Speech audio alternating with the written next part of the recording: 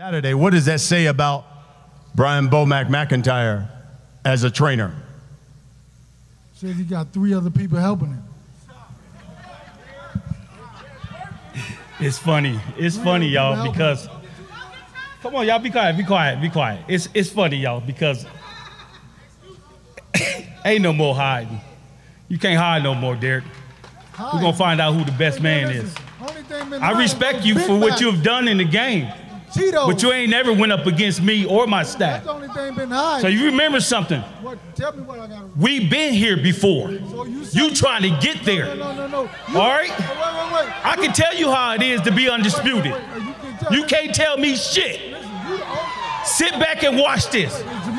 Sit back and watch this. I promise you something. I promise you something. Hey man, listen, man. They got to make a new weight for you, heavy, super heavyweight. What the fuck you talking about? We know All that, what we all that shit you talking, all that shit you talking don't mean nothing. It don't mean nothing. I can I can bump my guns at you, you can bump your guns That's at me, but but at the bumping, end of the day, them two brothers got to get in the ring. That's right. All right, then. So shut the fuck up. Yes, ma'am. Yes, ma'am. This is going to ma'am. be one heck of a fight. Yes, ma'am. I will. Now, let's get to the fighter. Look, mama.